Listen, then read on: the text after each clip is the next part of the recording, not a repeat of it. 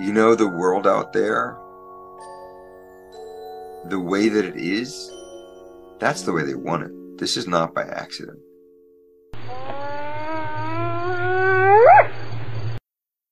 The humanist being presents When Humanists Attack.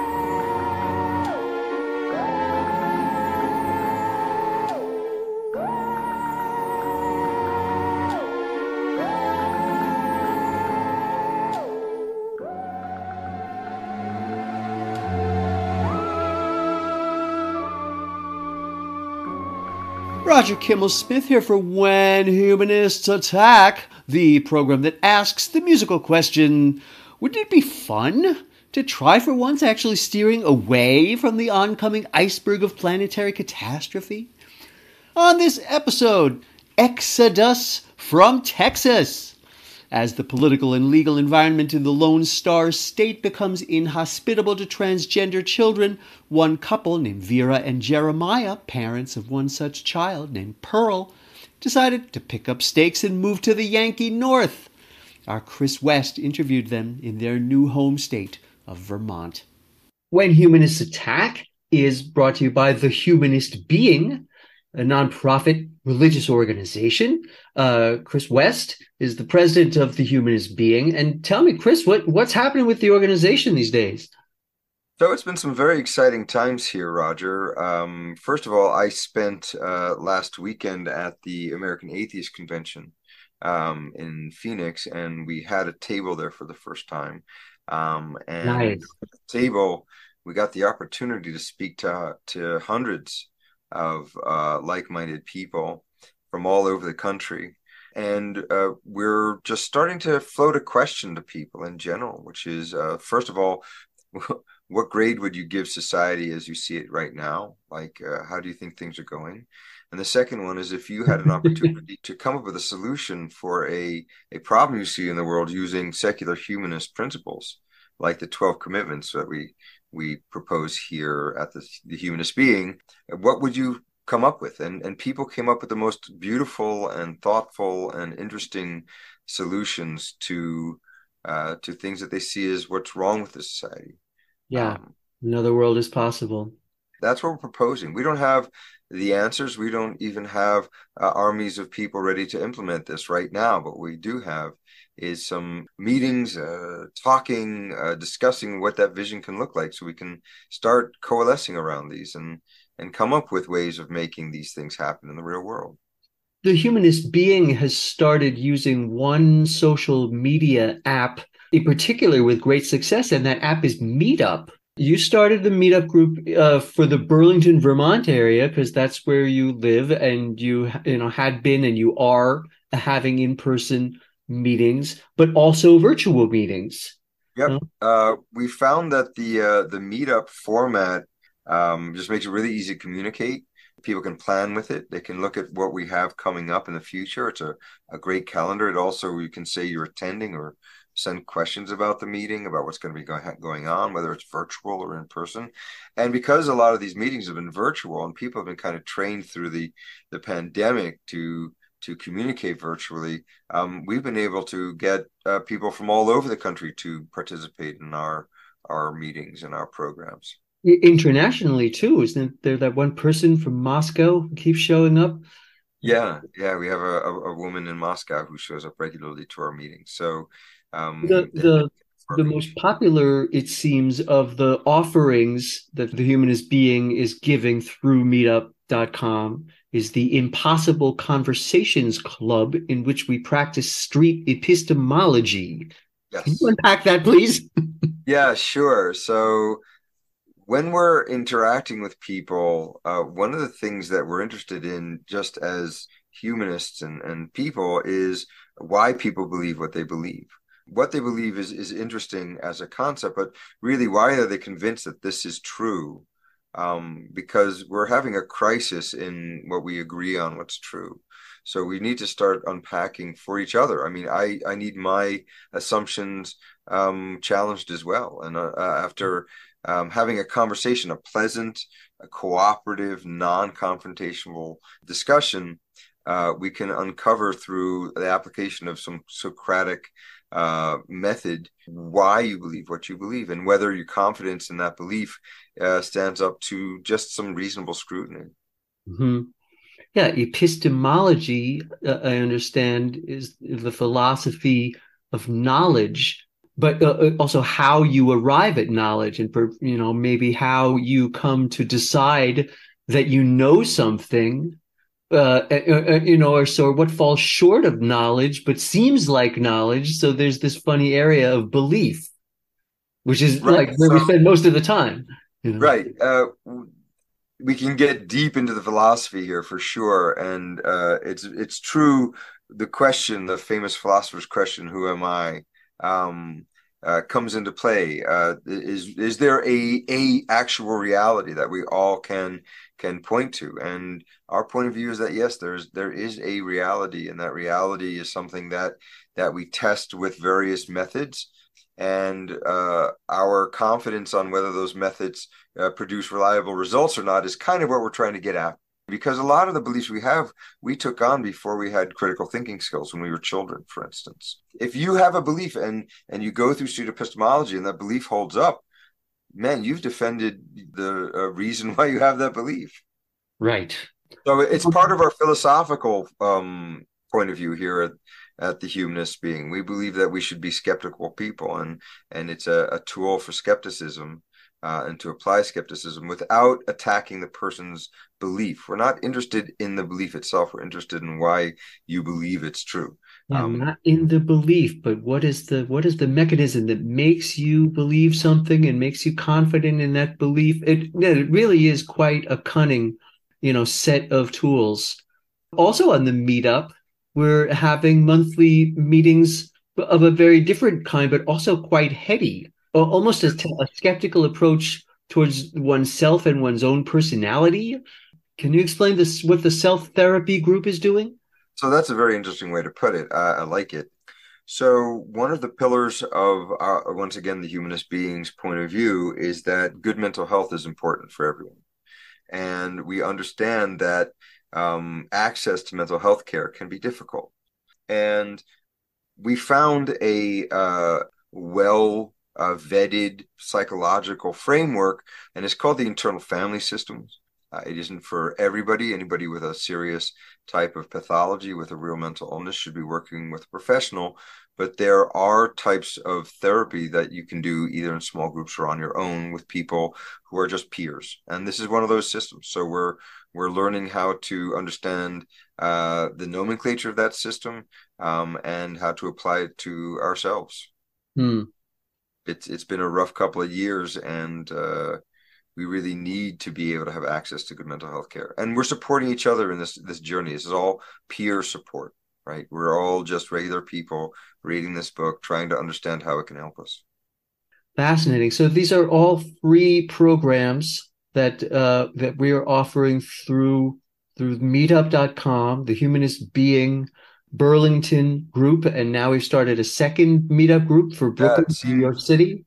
Yeah, we've got one in Brooklyn now, so uh, we're expanding. Oh, so we're on Discord as well. Yep, you've been doing some of our uh, Impossible Conversation Club stuff there, and that platform is becoming more and more active. So, and it's a great place to to have meetings and discussions and things. And of course, the humanistbeing.org uh, is our website, which we're trying to uh, keep pace with the growth of our organization. All right. Um, so tell me about the the interview that we have for this episode and the and the couple, Vera and Jeremiah, whom you engaged. Yeah. So um, early last year, um, my wife met Vera uh, on a transparent call. Transparent is a monthly meeting that Outright Vermont, uh, an LGBTQ support and community organization, holds for the parents of transgender non binary children. Vera and her husband Jeremiah were living in Texas, um, in Austin, Texas, and they were appalled at the uh, laws that were being passed by the Texas legislature and signed into law by the Texas governor which uh, basically would make them criminals for providing uh, gender affirming care that was uh, prescribed by a licensed uh, doctor. So instead of waiting around for things to get worse, they decided to move up here to Vermont and actually just kind of left everything in their house, bought a pop up camper, and just drove away from Texas. Man, um, refugee style. Real refugee style. They were talking about, you know, the possibility that the Texas authorities would take their kids away. Um, they're not the only family, by the way, that we've heard of who have left Texas for Vermont. There's a, a small stream of them. So this is a phenomenon, and these people were just camping in a state camp, a state park for a months at a time. And we said, you know what, we've got a pretty big yard here. Um, why don't you come and park here? At least you can use our our services. You can use our bathroom, our shower, our kitchen. Um, and so they lived in our, our driveway for almost two months last mm-hmm. summer they originally wanted to buy right away, but because of the change in the market in Texas, they ended up uh, finding a rental here in in the area uh, just for the year. And since then, they found a, a home um, after, of course, uh, the interview had happened. Uh, but they they bought a home and they're going to be moving into that. Oh, great! Um, they're really settling in. I saw them today. Um, it was uh, Pearl's uh, tenth birthday Thank you, Chris. Uh, so let's let's hear that interview. So welcome, uh, Vera and Jeremiah. Thank you for taking some time out to talk to me yeah, about totally. um, about your experience, about your travels. Um, tell me a little bit about you, just just background information, like you know, you guys, where you from um, how did you meet? How long have you been together? When did you have kids? Just, just tell me a little bit about yourselves. Um, so we met in high school in Cypress, Texas. Um, Which is? Uh, it's a suburb of Houston. Um, northwest. Yeah, the northwest side of Houston. And we were friends through like uh, art and photography. Um, and then we started dating shortly after we both graduated high school um, because we moved to similar parts of Houston uh, while Vera was going to college and I was just working um, and didn't know anybody, so we started hanging out more. And then she decided that I was tolerable. so uh, here we are 20 years later? 19. 19. Yeah, so we're, yeah, I don't know class of class of 2002. Bobcat fight never dies is our slogan. Um, yeah, I don't know. So we we have been hanging around each other this whole time. Um, we moved from the Houston area to Central Texas, around the Austin area in 2005. Got married in 2009. Had a kid in 2010. Had another kid in 2013. Um, yeah, that's that's our origin story.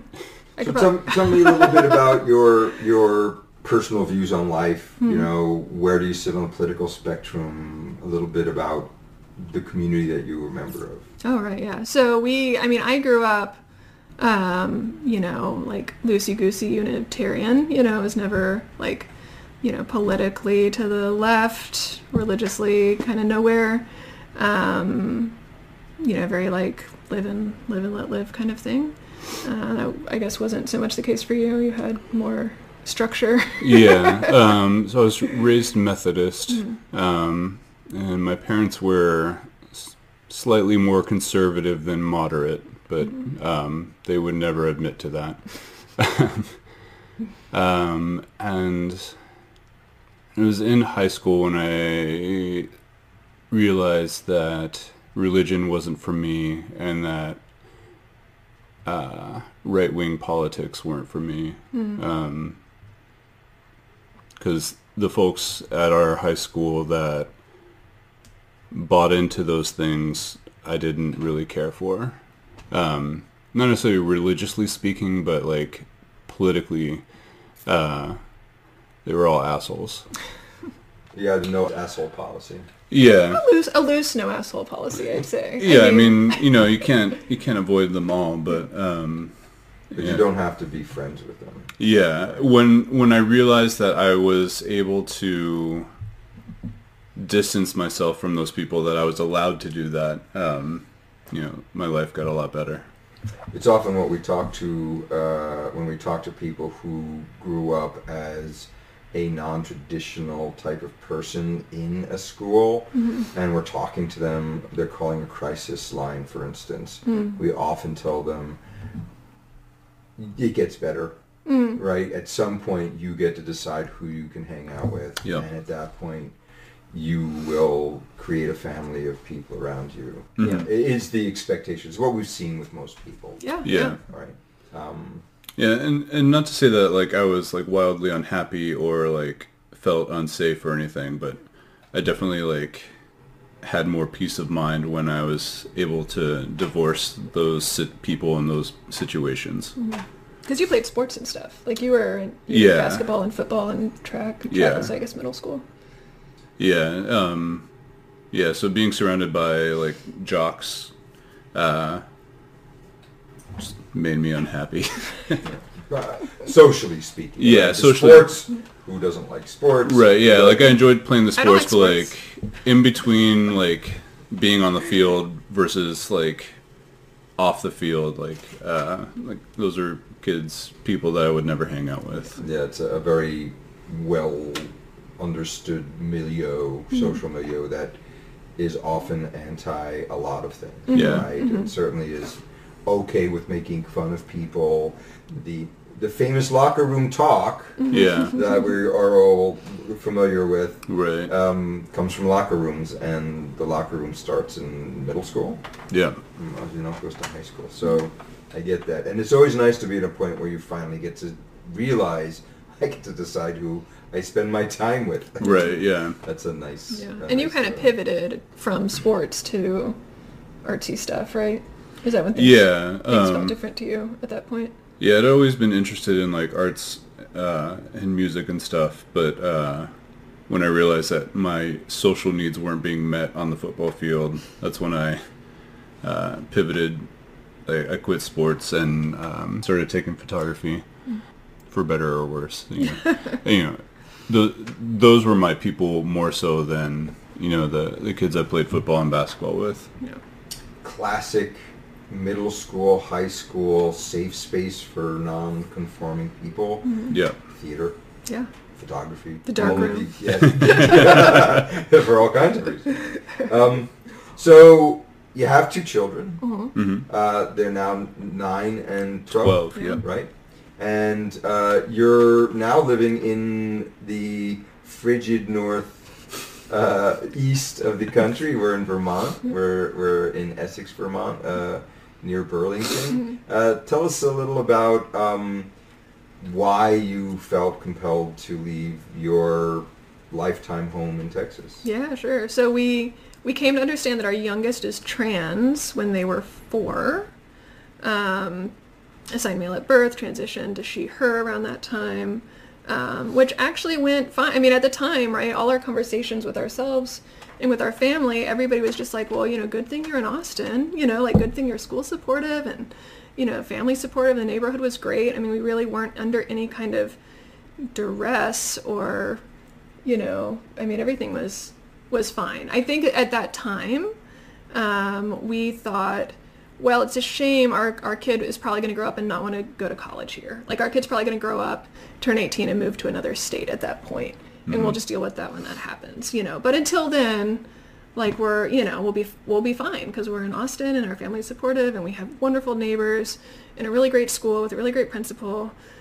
Um, and that's really kind of you know where where I left it until you know I guess legislatively things were ramping up and we really started to think well we might want to make a break for it you know we'll make a clean break when our youngest finishes fifth grade and our oldest finishes eighth grade we'll make a clean break and we might leave Texas for like a nearby state that has some protections in place um, What you know were you thinking that might be? I mean, I know in and around Texas, New Mexico Mm-hmm. is like the most liberal state bordering Texas. Where were, where were you? We lo- we took a trip to New Mexico to scope that out. Um, we we were talking about Colorado for a little bit, um, and we do have some friends who wound up there. yeah. I don't think we have anybody who wound up in New Mexico. Uh, I mean, everybody's just scattered. You know, we'll, we'll get to that, right? But- Yeah, and we took a trip to Portland. Um, I don't know if that was ever like in the in the running for places to move. No, but at that point, I don't think we thought. Yeah. Yeah. At that point, I don't think we thought. I mean, I wasn't thinking exod- Exodus at that point. Yeah, Definitely by true. by the time we went to New Mexico two summers ago, I was like, let's scope it out and see if we like click with the you know check the vibe out or whatever. Um, we went to Chicago. Mhm. I don't think we were thinking about moving then either. We were just you know poking around. Yeah, that was shortly after uh, Pearl had transitioned. Yeah. Um, but that was an exciting trip because uh, some high school friends, one of them um, uh, turns out he's trans as well. You know, like he figured that out in college. Mm. Um, so it, I think that was the first time that Pearl had met like a trans adult. yeah, that's true. Um, well, we had a trans friend in Portland too. That we Oh yeah, with. yeah, yeah. Um, but it, it was great seeing him just because uh, as like a, a role model for Pearl to look up to. Like, Yeah. I don't think Pearl's ever felt been under duress Mm-hmm. because of their transness, but uh, I think seeing like a successful adult um, who's happy socially and everything, uh, I don't know. I thought that was really cool for them to to witness. Yeah. Yeah. Yeah. So we get to 2021 Yeah. October and Yeah, I mean it's flying. really yeah, pretty much 2020. October 2020, I think, is when we really started to come to understand that we needed to leave. You know, I mean the the timeline just keeps keep kept getting cut in half. You know, so whatever. So expecting to leave when your yeah, we were like, oh yeah, they'll they'll grade. leave. Yeah, they'll leave us, and then we're like, oh, we might all go in three years. You know, uh, make a clean break in three years, and then we were like, oh, we'll stay um, around the ledge session. We were like, oh, we'll stay through the end of the school year. You know, we'll let them finish out at that point. We're talking about finishing third grade and sixth grade, um, and then we'll move. Um, and then you know with the with the directive or whatever that came out in February we were like we we need to already be gone. I mean at that point we had friends under investigation you know and I was just waiting for a knock on the door because I had testified at the Capitol. My name's like public record. Um, the folks that I knew that were under investigation had done the same thing. And so I thought well are they working down a list or what? You know So just take the visitor list from that session and Yeah. I mean they could you're you know an easy I'm right uh, there contact. yeah, right? I didn't use like a you know pseudonym or anything. I was just, you know. So yeah, I mean, basically the timeline just kept getting getting cut in half. So I, when we were in that moment, before we were in full blown panic mode, and we knew we were probably going to move at the end of the school year, we had narrowed it down. You know, there's only kind of like seven states on the list um, that people kind of consider like safer, um, and Vermont was appealing because unlike California or Oregon or Colorado. Like I didn't want to deal with droughts, uh, droughts and wildfires. We deal with that in Texas, um, so I didn't want to uproot everything and leave everything behind, only to have it all you know burned down or have to leave again. So climate-wise, long-term projections, Vermont felt like a safer bet. Proximity to Canada sure doesn't hurt um, because again, we've now we've now seen our timeline shrink and shrink and shrink. And so to me, like I'm not planning a move to Canada, right? But I wasn't planning a move to Vermont three years ago. And so, um, you know, the easier, you know, the more back doors we can have for ourselves, that's kind of where we're at now. Yeah. You know, it'd be nice to look back on this in six years and be like, oh, you know, can you believe we thought we might have to go to Canada? You know, I would love that. Like, I would love to wake up one day and just think, you know, that was silly. We thought we had to leave our whole country. Um, but I, I think that's a less likely scenario in six years. Like, So tell me a little bit about this law, because although we're talking about it like we understand what happened, uh, there was um, uh, Paxton, Yeah. the Attorney General, made a, uh, a recommendation Mm-hmm. that uh, that parent that children who are seeking gender affirming care uh, be, maybe be followed and and prosecuted because of that. So tell me a little bit yeah. about how that, that developed, because it then became it was a, a as far as I understand it, Mm-hmm. it, was a, an advice that the attorney general gave to the Mm-hmm. governor that then became he doubled down on. Yeah, I mean it's it's really really frightening, and I think a lot of people don't understand this, and even even I kind of don't understand it, but like, you know, my time in the Capitol, right? These bills come up, they go to committee, you could testify in front of the committee, explain why this shouldn't be under consideration, hope they don't push it through. And that's kind of like the avenue you think of when you, you know, have seen Schoolhouse Rock before. You know, like that's how things happen. And so there were bills under consideration to make affirming your tr- trans child child abuse, right? So I testified on those bills, and those bills ultimately failed, which you know to the great relief of many, right? The great consternation of many, also, I guess. So you know, we really thought the Texas legislature meets every two years. Uh, we thought we'd sort of get like a year off to regroup and rest or whatever. Um, but meanwhile, behind the scenes, um, Paxton wrote to the head of um, CPS to ask whether or not affirming trans children could be considered child abuse under our existing laws, right? So not writing a new law. There's no new law. Like it's the same laws we've always had against abusing children, but wanted to check if maybe under those laws folks could be prosecuted. Um, and the answer was sure. You know, maybe. Like, you know, we, we, we wouldn't rule it out, you know. And so he bounced that over to the governor, and the governor doubled down on it. And so now there is no new law. It's illegal. It has been illegal and will continue to be illegal to abuse children in Texas, thankfully, right? I work in early childhood, um, and I've dealt with CPS, you know, through my mandated reporting there.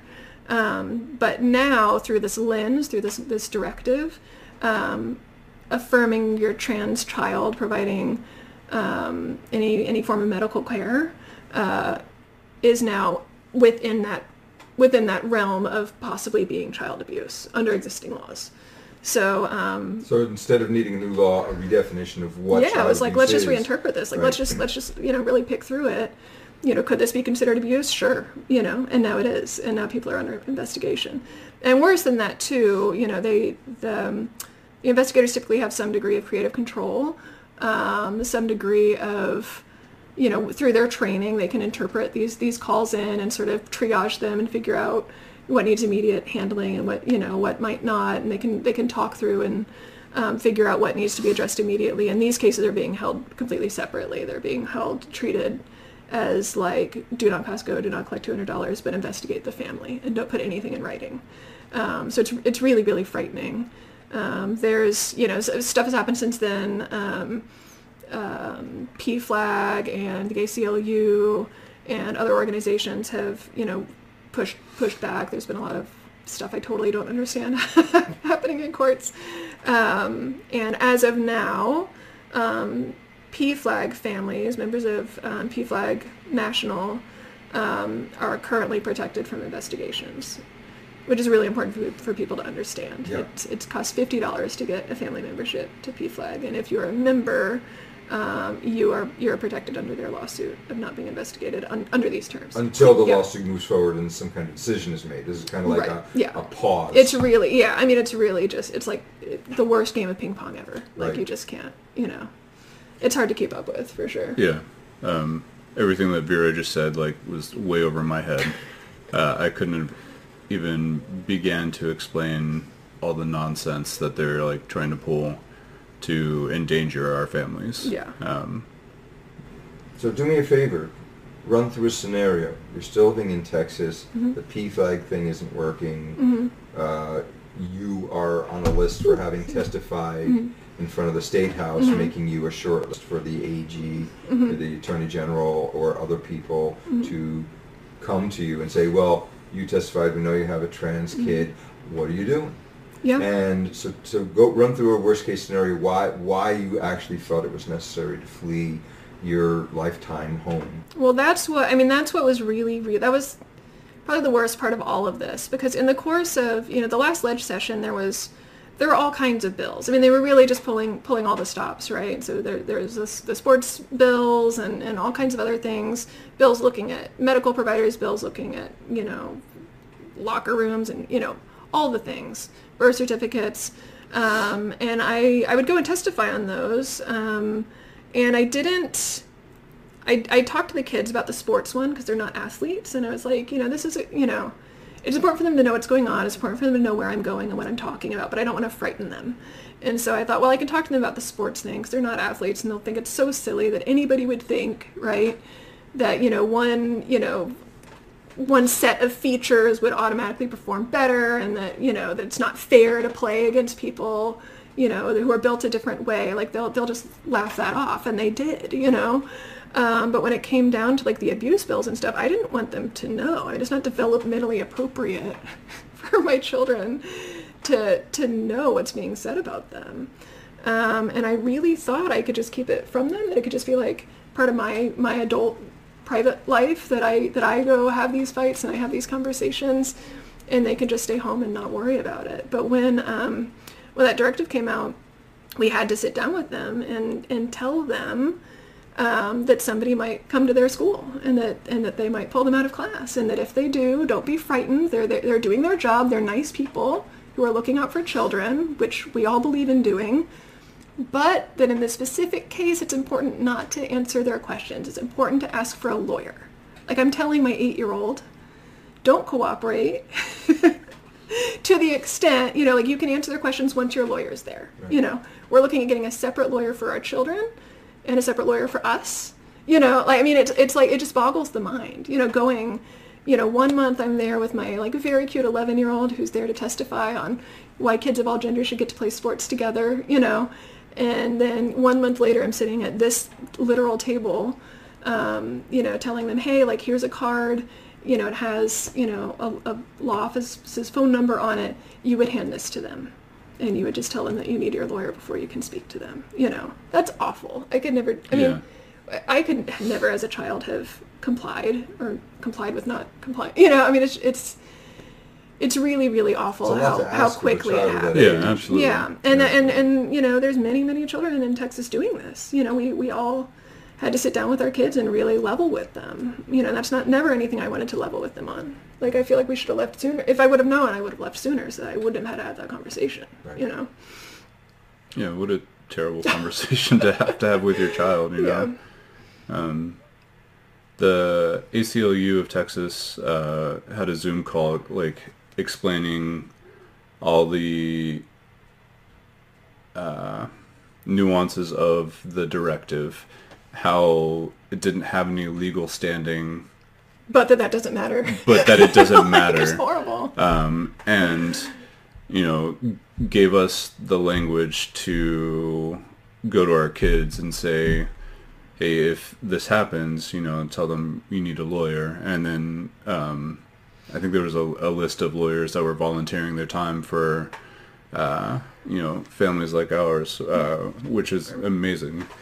Um, that they were doing that, but you know, it's like terrifying. You know, we just yeah. want our kids to be happy, safe, and healthy. You know, and it wasn't possible to check off all those boxes. No, I mean, there's there's no future for us in Texas, and I worry, you know, I feel bad sometimes, you know, because it's like, well, you know, by us leaving, or you know, are we making it that much more dangerous for the people who are left? You know, um, a lot of people are talking about standing their ground and putting up a fight and setting that example for their kids, which I really respect and admire. You know, um, you know, we just had to bounce. You know, like yeah. I'm not, yeah. I'm not here to say. I mean, people move for way dumber reasons than this. You know, like people, people move for no reason at all. You know, so you know, for us, like, yes, our family's all in Texas, but our family's not all from Texas. You know, your mom moved to Texas from right. Illinois.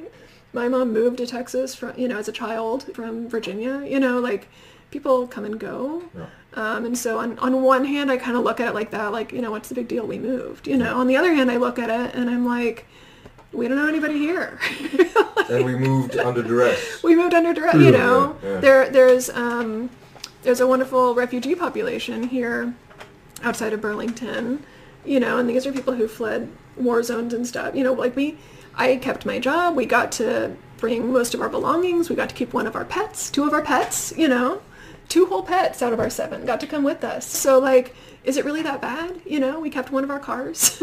and so it's really, it's, it's kind of a mind fuck, you know, like, like, am I a refugee? Am I just displaced? Am I just, did I just move? You know, like, what is this? Like, I don't, yeah. I don't really know what to do with it, you know, per- personally, you know or like expats. What would have happened in your worst case scenario if, for instance, mm. your your transgender child was at school, got pulled out, mm-hmm. and you find out that they in some way incriminate you. Um, what what did what was the the script that you saw in your mind that might happen under that situation? What's the worst case scenario? I don't know. I mean, children haven't been. This is this is a thing that comes up because the CPS, um, uh, D, Texas DFPS, Department of Family Protective Services, um, ha- have like sort of committee meetings where they take public comment. So, you know, folks like us are showing up in mass, you know, kind of telling how it is and explaining their what they've gone through and what they'll continue to go through.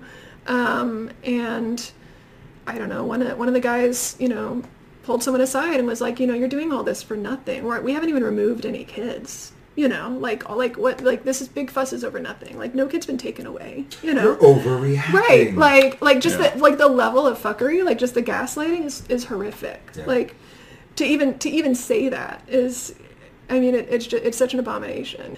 Um, so yeah, I don't know. I mean, you know, would I? It, you know, in the scenario you laid out, like, would we be the ones whose kids gets taken away? Probably not. Like, maybe we're not that special. You know, like maybe our kid gets to stay, and maybe we just have a file on us in some drawer in some office. You know, I mean, I literally, I mean, I don't know. You know, but I, I can tell you, a lot of damage is done. You know, a lot of, a lot of trauma is there regardless, and and the cruelty is the point. I mean, they're not they're not doing it to take kids away. They're doing it to like hurt people. They're doing it to make it impossible to be to be trans and um, to uphold you know whatever status quo they think exists that, that doesn't. So, yeah, I don't know. I mean, we would you know we would we would have our lawyer, they would have their lawyer, you know, we would like dot our I's and cross our T's and do what we have to do. You know, would we like pull them out of bed in the middle of the night and throw them in the car and take them to the next state over? Like, I don't know. I mean, at some point, probably. Like, I don't, I don't know what, I mean, it would have to be worst case scenario after worst, like they would have to build on each other, you know, to lead us to that point. Um, and it's really hard to imagine because there, there have been many families under investigation and, you know, what they were going through, you know, I'm sure hasn't been all public, you know, I haven't been privy to, to all of it, but everybody has an exit plan. I mean, even even the people who are, are staying and fighting and, and leading by example and doing everything that, you know, we just couldn't do, they have escape plans too. The people I really feel for, there's a lot of people who just can't leave. Um, they might be caregivers for, for elderly parents. They might have a custody situation with another child that they would have to leave behind in Texas if they if they left. Um, there's people who have their entire livelihoods built there. They have their own businesses that they that they're running. So you know, people would lose. Uh, you know, like the business folds and all these other people lose their jobs when we leave. You know, because we're we're we're regular people, right? We're everywhere. So um, you know, in, in my case, you know, like whole Girl Scout troop lost their troop leader when I left. You know, cis kids, mostly cis kids. you know, um, you know, you lock up pedi- you know, you lock up our kid's pediatrician, and it's mostly cis kids that suffer. You know, like yeah, he has trans patients, but he had a hell of a lot more cisgender patients. Right.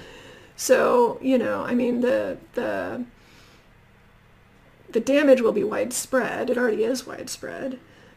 So we still have to see how this flushes out. I mean, like Yeah. you said, the Texas legislature is only there for two years. We're coming into another legislative session Yeah. in 2023, Yeah. and we can see whether or not this push Mm-hmm. uh, to codify, you know, not giving trans kids the type of care that the American Medical Association, the American Society of Pediatricians, all of the major um, organizations that deal with, you know, the care of transgender Yeah. children say that this is the care they should be getting. Yeah.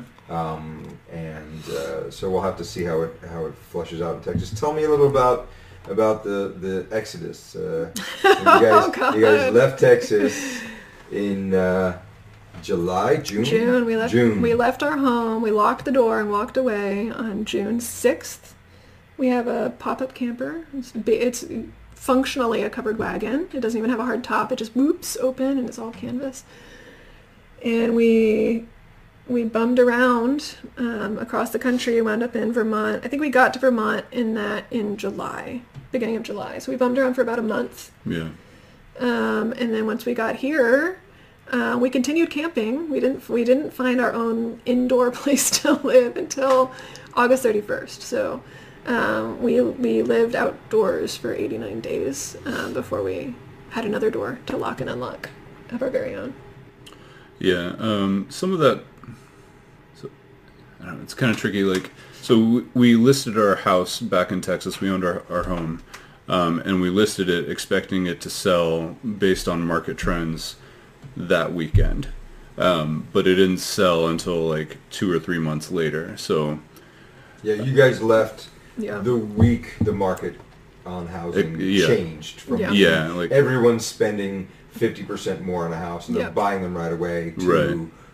a pause. Yeah, interest Yeah. rates interest rates went rates went up. Um, houses in our neighborhood had been selling just, I mean, just absolutely obscene amounts of money, and a lot of folks had put their houses on the market, you know, um, and they were getting snatched up regardless. And I think that when the market rates went up in, it had to have been late May, um, whatever investors, whoever it was that was buying these houses, just decided to not for a minute, just wait and see what see what's going to happen. So we didn't, our house didn't close till October fifth, yeah, um, which we never would have anticipated, you know. Yeah, we would have planned our, our trip a little bit differently. You left them off early, right? Yeah, yeah, Right, we would have. Yeah, I mean, we, we would have said fuck the school year, and we would have just left in as soon as we could have packed our stuff. Yeah. You know, we t- we took sort of a, we worked really hard, you know, to pull things together at our house, um, and you know, freshen up the paint, and like you know, pack and store everything properly, and um, but we we could have, should have. Started sooner and moved quicker and just left. We should have left at spring break. We should have left in Yeah. March. If we would have left in March, we'd be sitting on a pile of money and we would own a home in Vermont, you know.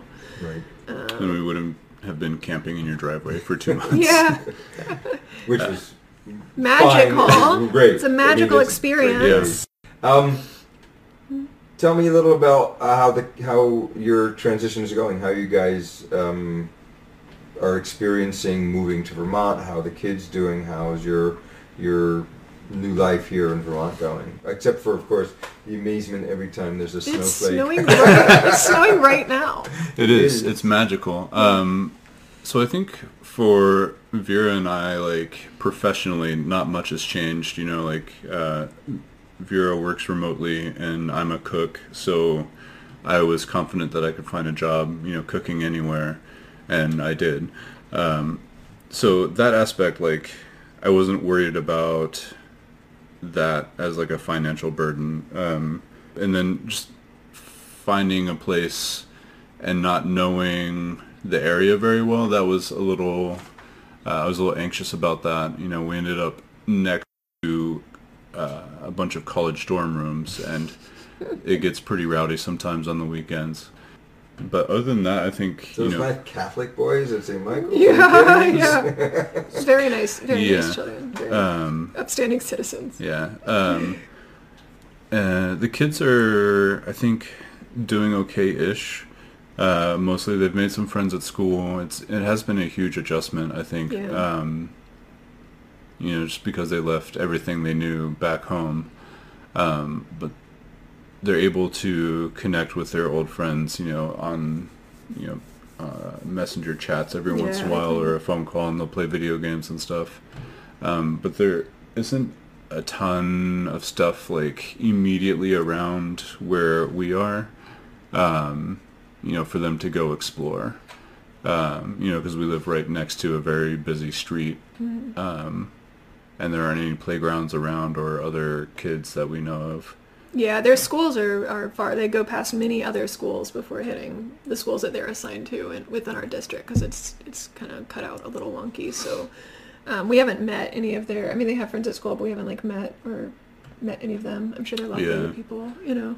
Yeah, You guys are literally on the ass end of Colchester, right? Yeah. There's a Yeah. there's this whole community of Colchester over Yeah. by the schools where the kids are at, but it's you know a half hour drive almost. Yeah, they take the bus. I mean, I just pop them on the bus, pop them off the bus. I don't know what they do all day or, you know, who they're with. Everybody seems great. They're, um, you know, all the conversations we've had with like school administrators and teachers and the counselor have been wonderful. You know, so I know their needs are being met. I know they're getting a good education.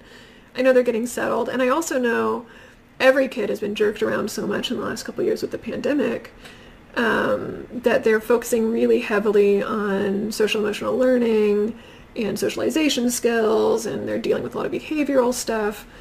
you know, kind of regardless. And Yep. so, you know, as awkward as it is to get copy pasted from Texas to Vermont in the middle of middle school, in my son's case, um, I think all the kids are dealing with some weirdness, Some kind of weirdness. regardless. You know, and actually, um, I did the math. Our son is going to go to five schools in five years.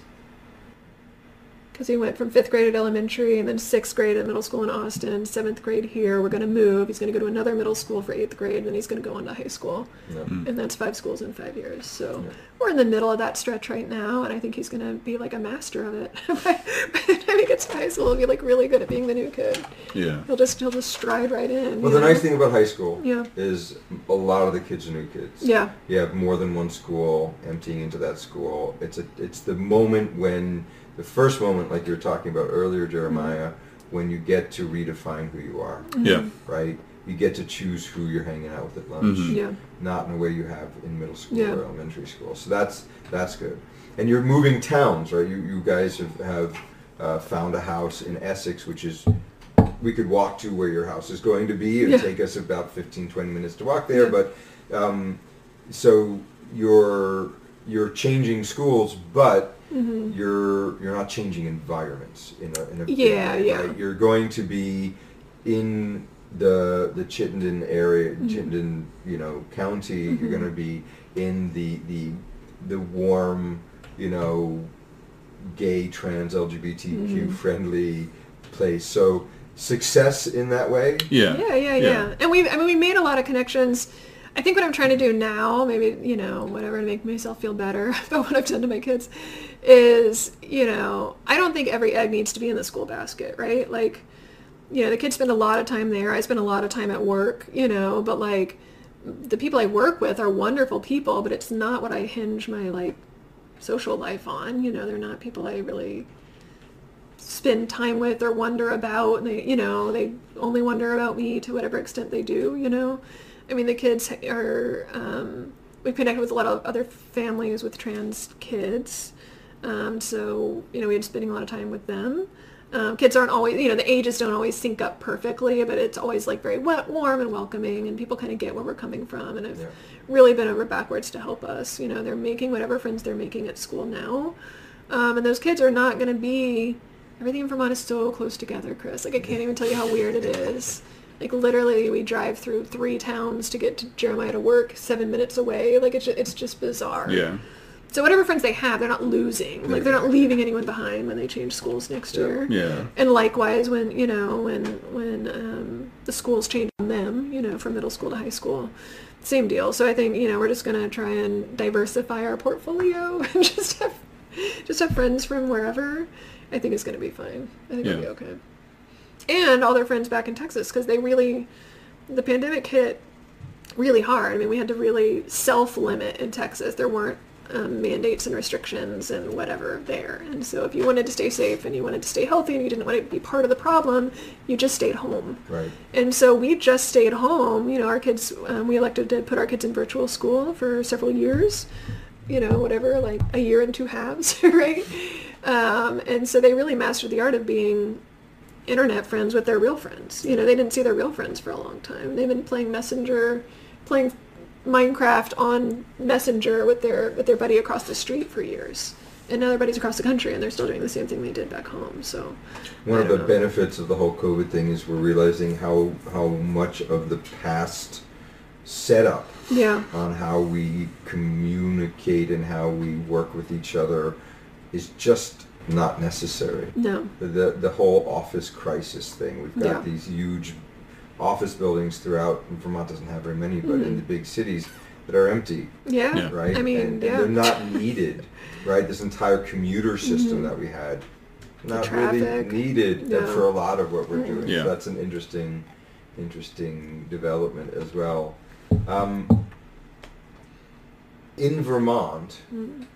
there you have not had any kind of um, issues questioning being parents of a trans kid, or have you run into anything? I know that you've, you're affiliated with Outright Vermont. I want to give them a shout out. God, they're amazing. Um, great group of people, Yeah. and they they've helped us Mhm. in our family Mhm. with our our coming Mhm. uh, dealing with and, and understanding and providing support and care for our transgender son.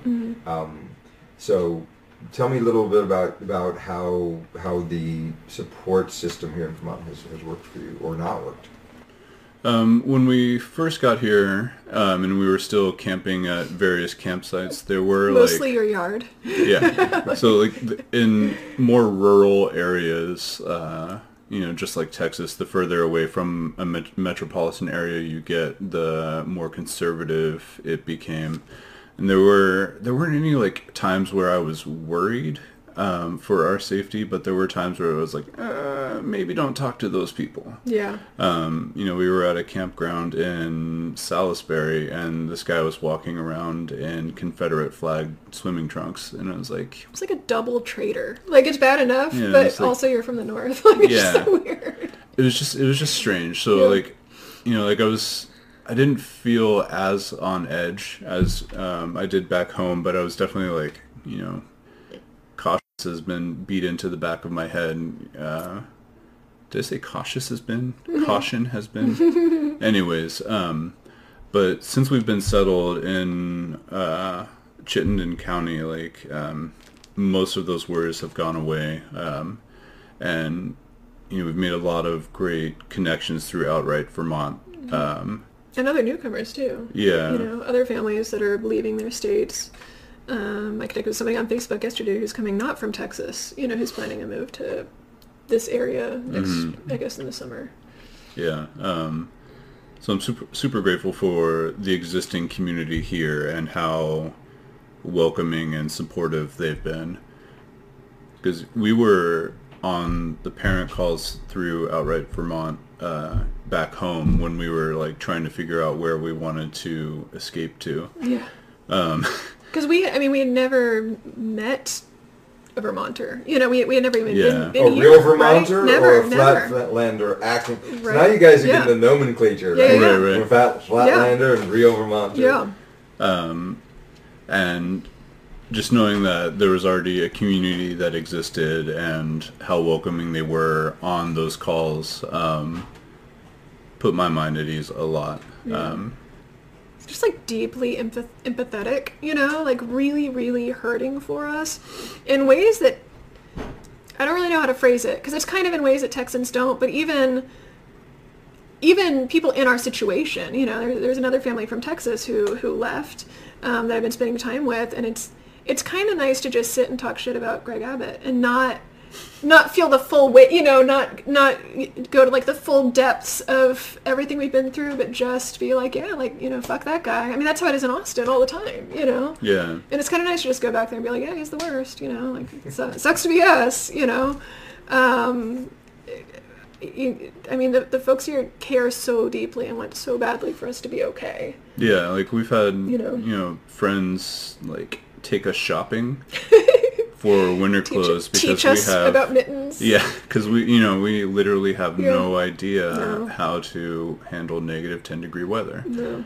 Um, you know, now we do, Yeah. sort of. We haven't experienced it yet, but, you know, like, I feel like we're much more prepared than, you know, our hoodies that we wore back home. the winter coats we bought the kids last Christmas Yeah. That are like, Which are know- good for like November. Yeah, yeah, yeah, yeah. It's, it's like good for apple picking here, you Yeah. know. Yeah. Well, um, thank you guys for taking the time out to sit and chat with me about your experience. It's fascinating to me, just as a, a liberal-minded kind of person, that uh, that your story exists at all. Yeah. Um, Thank that- you. That Thank you for saying that. that there that there is a place in within the contiguous uh, American states, and I knew this intellectually, but not emotionally. Yeah. Right? I Yeah. didn't I didn't know anybody who is going through what you guys have gone through. Um, I'm very very glad that you guys have landed well, Mm. and uh, I look forward to you know knowing you guys in the future and and eating delicious pickles. And like. Barbecue. Um, right, exactly. Chili. Well, when we get when we get to the summer next Yeah. year, we'll have to have a, a real Texas. we will. We'll have a barbecue. yard next summer. We'll have There everybody go. over. Yeah. and we'll have to come over. And, We'll have a and- we'll have a hootenanny. A, a hoot. that's just that's not a thing. Did you make that say. That only exists in songs. um, yeah, no, I look forward to our uh, you know our future here. It's it's gonna be great. Yeah. Great. Couldn't have done it without y'all. We're happy to be a part of the journey. And indeed, we are happy to be part of your journey of humanist being.